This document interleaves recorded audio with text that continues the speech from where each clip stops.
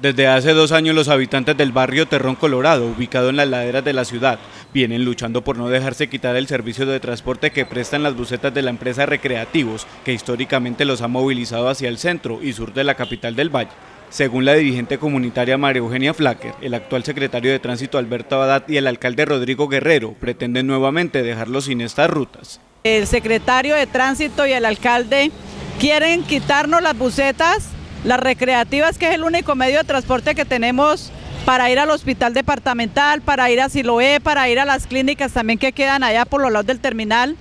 Yo no sé, estos señores, qué es lo que está pensando aquí con la comunidad, la Comuna 1. Es la única comuna que tenemos el privilegio de tener los camperos y las bucetas. Para la líder de la Comuna 1, es claro que la intención de las autoridades municipales con esta decisión es la de favorecer la entrada del sistema de transporte masivo mío. Aquí nos quieren quitar las bucetas y yo no sé, señor alcalde, en qué era que nos va a dejar montando nosotros las comunidades. Entonces nosotros estamos haciendo una acción de cumplimiento también porque ya se hizo la primera y la ganamos.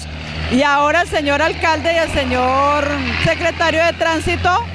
vuelve a violar otra vez nuestro derecho pues vamos a hacer también ahora nosotros nuestros hechos de cumplimiento porque no vamos a aceptar que las bucetas nos las vayan a sacar de nuestra comuna. Por su parte, José Noé Castro, otro de los dirigentes del sector, denunció que a pesar de que ya les cobraron el impuesto de las megaobras, la ampliación de la carretera al mar prometida por el exalcalde Jorge Iván Ospina nunca se realizó motivos grandes de inconformidad de los habitantes de la Comuna 1, que son cerca de 80 mil habitantes, es que todos pagamos eh, las megaobras. En esta megaobra, el punto número 2 de infraestructura